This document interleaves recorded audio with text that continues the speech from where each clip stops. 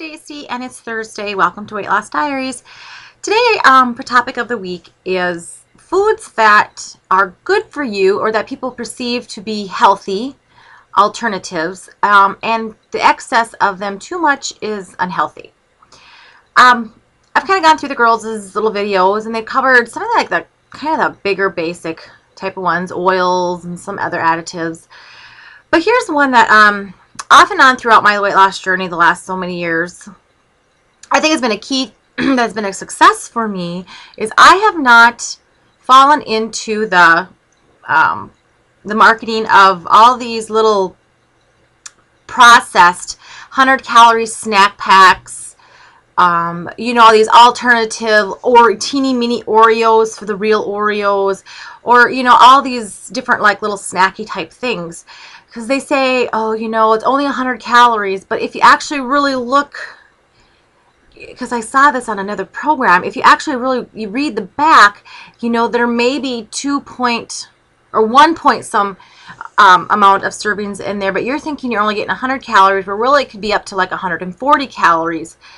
Um, you know, you add that out to maybe having one snack or two snack packs a day times seven days a week, you're probably consuming an extra, you know, two or three, four hundred calories a week that you didn't know about that's hidden in there.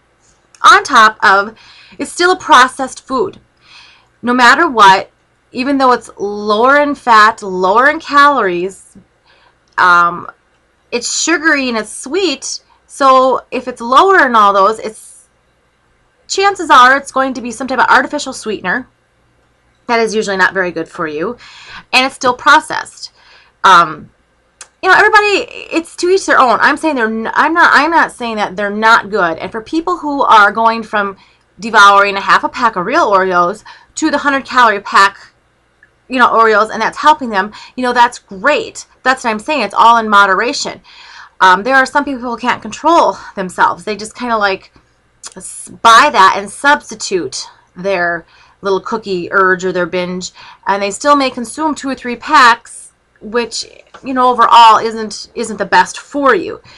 Myself like that puts me on a roller coaster. I don't buy any of that stuff because if i have it in the house um, that's just how i am. I mentally think you know, oh, it's it's better for me. I can eat it. On top of, even though it is lower in calorie, it's a it's a trigger. If it's sweet or if it's a carb or something like that, it'll just trigger me, and I won't be satisfied with it, and I'll just keep wanting to eat and find more. So then I end up eating two or three of those 100 calorie packs within maybe an hour's time because I just haven't been satisfied, or the sugary and the carb make me want to have more. So um, so my food is kind of like all these pre-processed little um, portion controlled still the um, you know these cookies and calories and biscuits and or you know brownies and things. I think you know the best thing for me was to uh, like Denise does is just to eat with a clean living um, fresh more fresh stuff you know or or bake or make something there are so many low, you know, little muffins and things like that that you could you could have as an alternative that are lower calorie but are still sweet. So I think the best way to go is not to have that temptation of um, having all those little pre-processed things laying around. Um,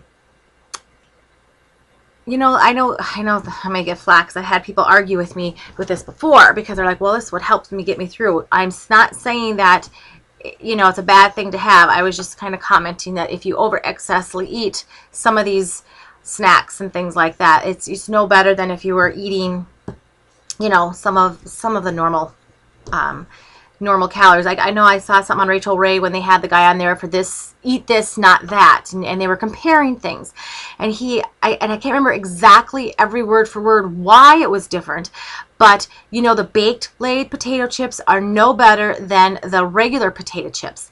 And I think it was because of um, we had higher sodium than the regular because it had to make up for the taste for the lower fat or something like that. There's just these little tricks that these marketers do and think that you're you're really eating better when when overall you are probably better off to have an extra 60 calories with the regular, you know, Lay's potato chips versus these baked ones that had like more sodium and a couple other things that were worse.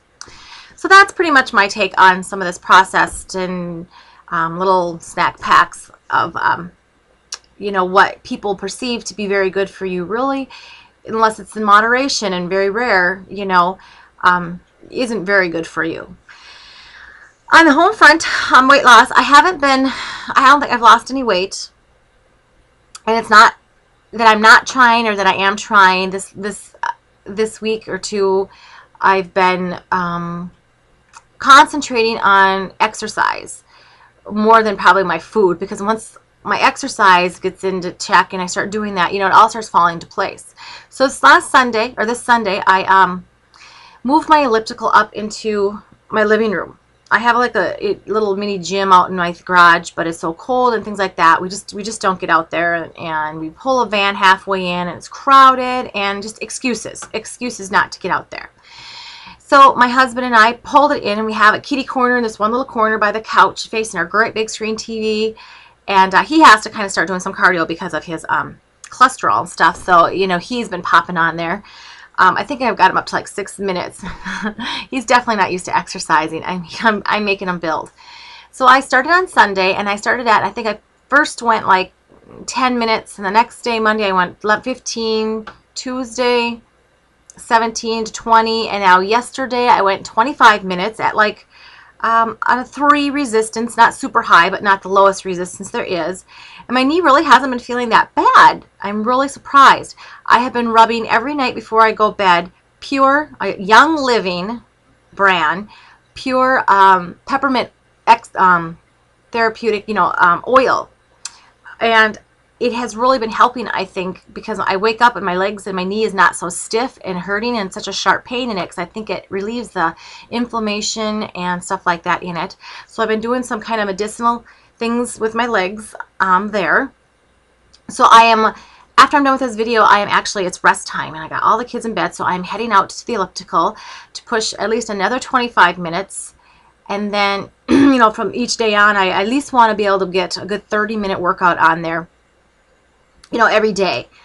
I am going to be ordering my, um, it's a trainer, a bike trainer to pop my bike onto that will give me some resistance so I can have my in my bike um, on an indoor so I can start uh, pedaling and building up some miles. So I'm really hoping this first week, excuse me, this first week of February is when I am going to um, then, you know, really start incorporating my diet because I should be on my 30 minutes a day elliptical run and then hopefully in the next week or so my bike trainer will be in and I can start putting mileage on my bike um, with some calorie restriction I think um, yeah I think we're gonna start we're gonna start seeing the scale go down soon.